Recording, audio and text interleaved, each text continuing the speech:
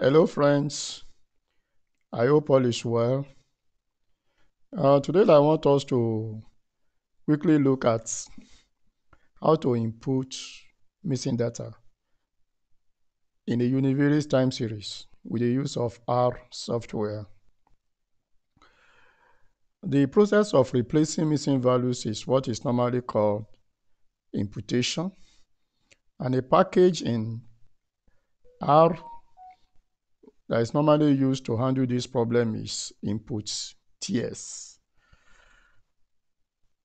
Um, the software employs time dependency because uh, univariate time series do not possess more than one attribute, unlike other packages that can handle situation whereby you have uh, many variables, whereby you can explore the correlation uh, among the variables in order to input missing values.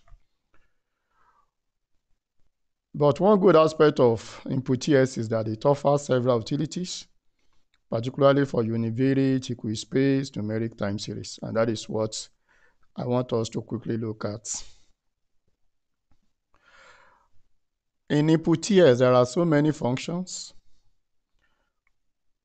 Uh, that one can adopt in trying to input missing value for a univariate time series. Uh, you can input by linear interpolation, spline interpolation, Stineman interpolation, uh, structural model, Kalman smoothing, and uh, even you can even use ARIMA model you can use imputation by last observation carried forward, last observation carried backward. And you can input with the use of very simple moving average, weighted moving average, exponential weighted average. And you can have a mean imputation approach, median, mode, random sample, define values, and a situation whereby you are dealing with seasonal data, then you can actually uh, input missing value through seasonal, seasonally decomposed uh, imputation approach or seasonally splitted missing value imputation method. So I think uh, we can go through any of very good time series um, time series textbook in order to understand some of these imputation approaches uh, in terms of the theory because EALA just wants uh, to put us through the practicals. And um, another attribute of imputeTS is that you can actually visualize the distribution of the missing values. Uh, you can plot it uh, using line graph or using bar charts. Um, and um, after putting the missing values, you can actually uh, plot to show the points where you have uh, the inputted values. And um, again, you can print the statistics about the missing value uh, if you want. So uh, we're going to start with um, a very simple example.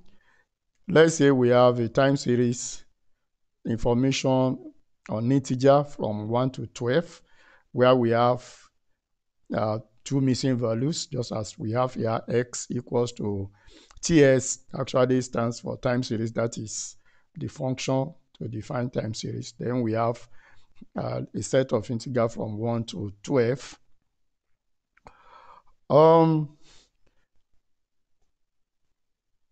what input we do, in case we want mean imputation, we just say NA dot mean, then X. Here, we see the mean of the values, that is from 1 to 12 here. The mean is 5.9. So we can see that it has used 5.9 to replace the two missing values. And in case we want to use median, then we say NA dot mean X option equals median. And, and in that wise, you have 5.5, 5.5, which is actually the median. Um, but another thing we can do is to actually use linear interpolation. If you want to use linear interpolation, for instance, we say NA dot interpolation X. And uh, if you try to do that, then we are going to have 1, 2, 3, 4, 5, 6, 7, 8, 9, 10, now 11, 12. Now we are going to demo demonstrate that uh, when we launch our R Studio. Um, another good thing about input is that you actually have some uh, time series data to play around with.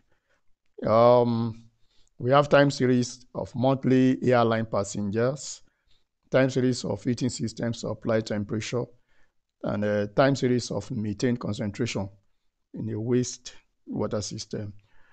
So, but in our illustration, we are going to make use of time series of monthly airline passengers.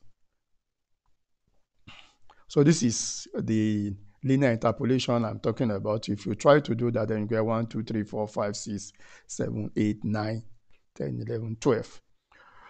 So, um, like I said, we are going to demonstrate um, how to use input TS in order to input missing data. We're going to, to demonstrate it with the use of um, this uh, monthly data on airline passenger, tsAirgap.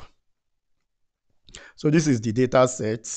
Now we can see there are quite a lot of NA. For instance, uh, the, the data runs from um, January 1949 to December 1960.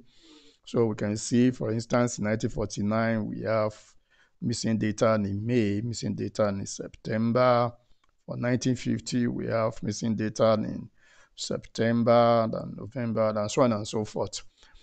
So, in fact, if you try to do the summary, you will see that we have about 13 missing values. So we can actually plot to see the point where we have those missing values. This is uh, the function here, if you do it correctly, you will see the distribution of the missing values. All these lines represent the point where we have the uh, missing values.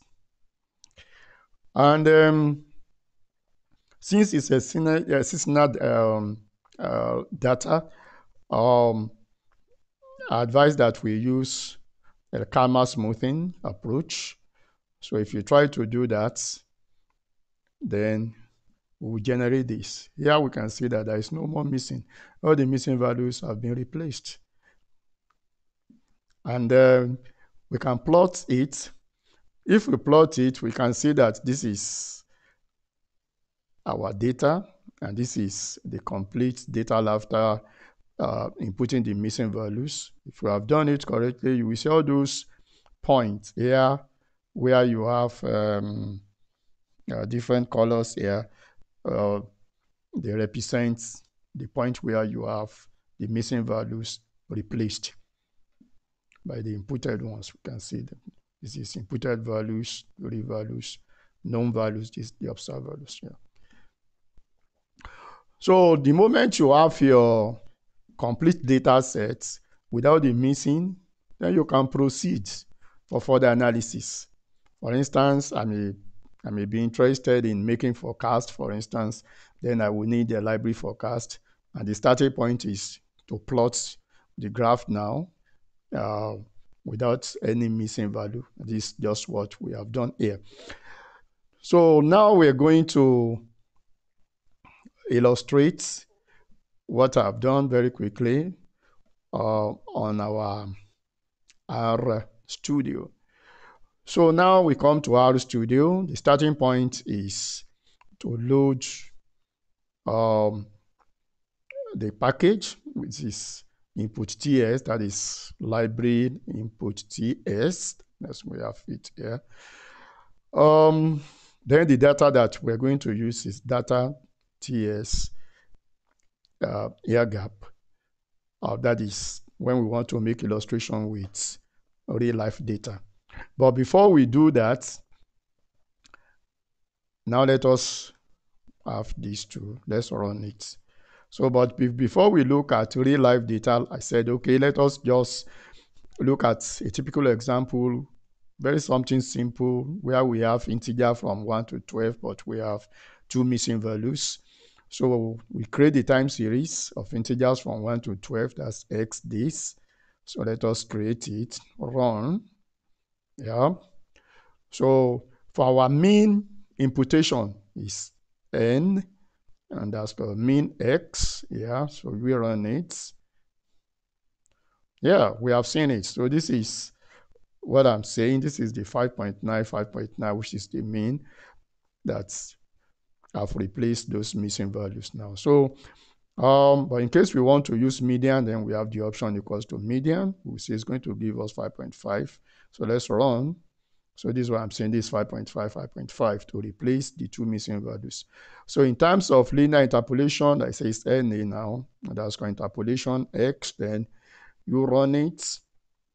Yeah, we can now say that for linear interpolation, we have our 1, 2, 3, 4, 5, up to 12 with the missing values replaced um, by 9 and 10, which is the missing values. Um, now let us see the use of real life data. Now we are using data on um, monthly data on uh, airline passenger from 1949 to 1960, January to December. So this is the data set again. So let's look at the data to see the outlook. You run this. Um, yeah, this is the data. Let me show us here. So this is it. This is the data sets.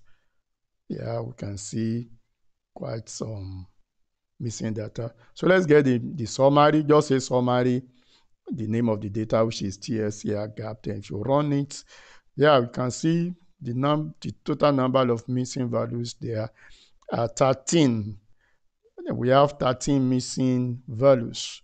So you can see clearly. Um, then let us plot it like I showed you the other time. So we have plots. So this is the plot. You can zoom in order to get the to get a clearer picture of yeah, this is the distribution of the missing values. Yeah.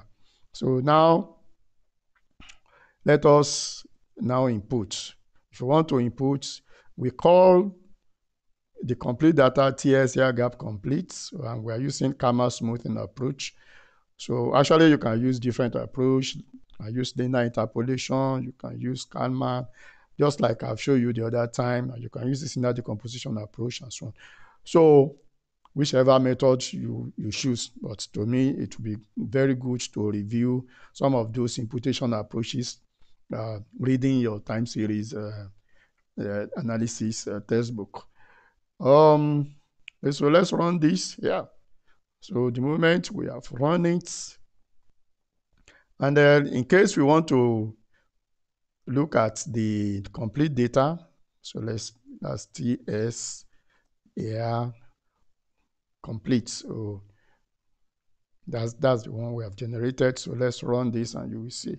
Now you can't see any NA again. So this is this what we are saying. No more NA at all. All of them have been replaced. Um, yeah, so and in case you want to plot and see those points where you have uh, uh, the missing values replaced, then let's run this, that's plot NA dot imputation. So you can see now. So it's quite different from the situation whereby uh, uh, vertical lines are used to indicate the point where you have missing values So now let's zoom this so that we see clearly, yeah, the picture. Yeah. So now you have your complete data. So let's say I want to proceed now for further analysis. You know, the starting point is to draw a very clean uh, graph. So using my forecast package, then I auto plot so you can see clearly now. Yeah. So You can see this a very clean one now. So this is just what I want to show us today. So anytime you are working with time series data with any missing values, just go straight, make use of imputeTS to make sure that um, the missing values are actually inputted. But uh, my advice is that don't do it for COVID-19 data anyway, because uh, for so many of those days where you have zero or missing values, it's actually showing that there is no um, no case or no death for some of those days. So it, it, it would be very dangerous to now try to input values for those days. Yeah, so thank you very much. This is just what I want to show us today. Till we mix again, till we meet again next time, please stay safe, stay strong, stay well. And in case it's compulsory for you to go out, kindly make use of your face mask and keep social distancing. Thank you. We shall live to enjoy the rest of our lives.